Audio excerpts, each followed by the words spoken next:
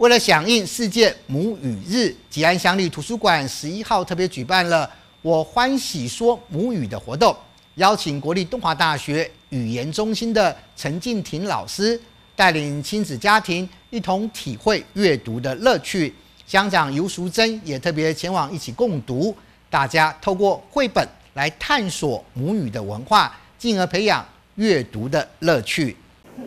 从两千年开始，每年二月二十一号是世界母语日，而为了响应活动，吉安乡立图书馆特别举办了世界母语日“我喜欢说母语”的亲子共读活动。在老师的解说中，家长跟学童一起透过闽南语以及英文绘本，探索母语文化的面貌。起码来练习，好，一个简单的代意，好不好？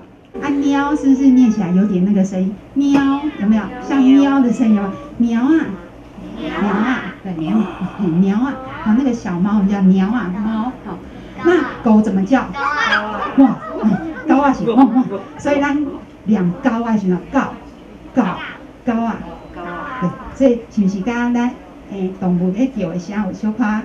好，休想。吉安乡长尤淑珍也特别前往与参加的亲子家庭一起聆听共读。尤淑珍希望亲子一起透过母语绘本走进阅读的世界，以语言口说历史故事，将语言文化的传承教育给下一代。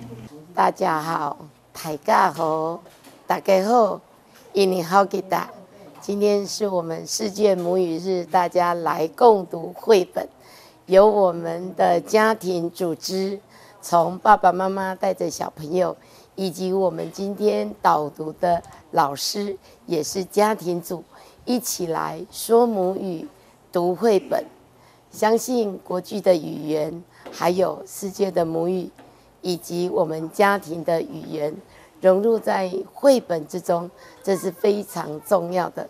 所以今仔日由咱的爸爸妈妈带着咱的囡仔来甲咱吉安的图书馆，大家来共学读册，希望这样的一个亲情跟母语的交谈融入到家庭里面。下周一就开学日，家长陪同学童在寒假最后的周末一同体验阅读的乐趣，也让寒假画下完美句点。